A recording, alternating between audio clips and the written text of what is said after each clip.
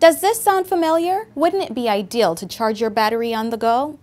Now, mobile device users can do just that by harnessing the sun's energy with a portable two-piece charging system. Here is how it works. Solar panels capture sunlight. A mobile booster then stores the energy to an internal lithium-ion battery via a USB power port, and then your device can be charged. And if there is no sun, charging can also be done from a computer's USB port. You've heard about dialing 911.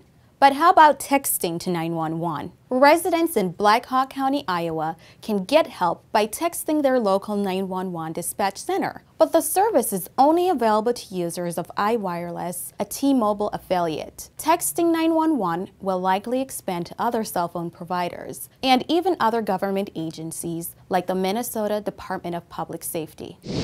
In a survey of more than 100 government technology subscribers, we asked, what are the barriers to broadband internet adoption? Here are your top answers. High cost of service, lack of availability, lack of perceived importance, lack of competition, and reliability or quality issues. For more on these and other tech stories, read Government Technology Magazine.